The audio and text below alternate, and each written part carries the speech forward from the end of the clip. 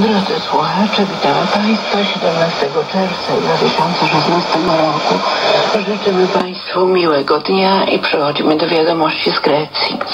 Oczekuje się, że w najbliższy poniedziałek zostanie wypłacona Grecji kolejna transza pomocy finansowej w wysokości 7,5 miliarda euro.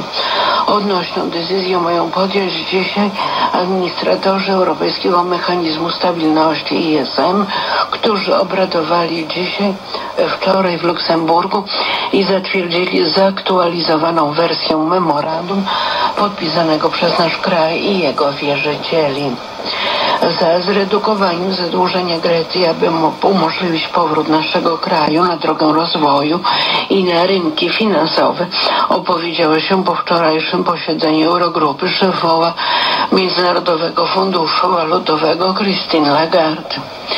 Wizję i najważniejsze kierunki sprawiedliwego rozwoju wraz z nieodzownym zwalczaniem bezrobocia zaprezentował wczoraj premier Grecji Aleksis Tsipras na imprezie zorganizowanej w Muzeum Akropolu w Atenach. Grecja staje się synonimem wysiłku na rzecz odrodzenia ekonomicznego i reorganizacji. Podkreślił wczoraj wieczorem szef rządu greckiego i ogłosił mobilizację w celu zakończenia błędnego koła recesji i bezrobocia.